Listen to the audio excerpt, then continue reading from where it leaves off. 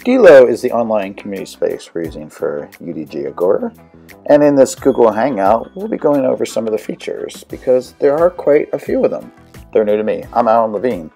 Uh, Dilo is a space where there are open areas for everybody involved in UDG Agora uh, to get information. Notices will be our announcements so you know what is going on in there. In the main part of the Agora is a place where all 300 people uh, can interact, and there's a couple of areas that we set up for possible discussions. Uh, we have some things for discipline specific, some resources to share.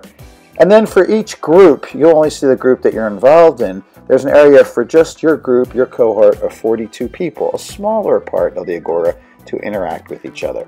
And so there are threads like a common discussion board, but there are quite a few other features that come with this uh, discourse platform that we're using. And so we will be introducing you to these in this Hangout.